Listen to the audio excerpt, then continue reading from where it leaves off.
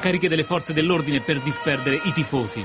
Fumogeni e petardi all'uscita dell'Olimpico dopo il derby Lazio-Roma. Già dentro lo stadio erano iniziati i tafferugli, sono dovuti intervenire gli uomini in divisa antisommossa. Poi fuori nelle strade adiacenti allo stadio c'è chi ha sfogato così la sua rabbia. Rabbia sfogata anche su una postazione per le dirette della RAI, distrutta una telecamera e del materiale tecnico. Così vanno ridotto la telecamera per i collegamenti, com'è successo? È successo che gli scontri sono partiti dalla parte di Ponte Milvio, poi la polizia li ha spinti oltre il ponte, ma una parte è sfuggita e sono venuti qua e hanno buttato tutto per aria. Che chiedevano? Niente, dicevano che volevano la cassetta perché noi mandiamo in galera la gente, mentre invece la nostra è una telecamera che non registra perché è una telecamera che fa collegamento. Traffico in tilt e divise nelle strade.